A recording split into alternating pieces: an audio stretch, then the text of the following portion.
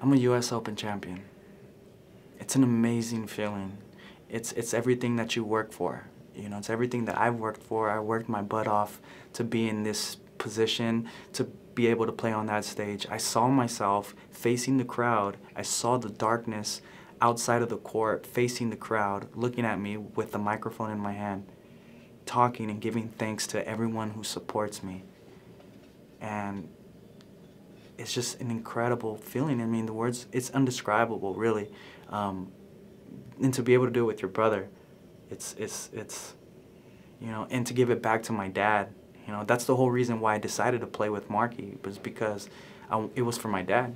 I could have easily played with Jansen Allen, who I had won a Pan American gold medal with, right? And, and to kind of like take a leap of faith and play with my brother, you know, we didn't do too well our first year. And just to let him know, say, keep that faith.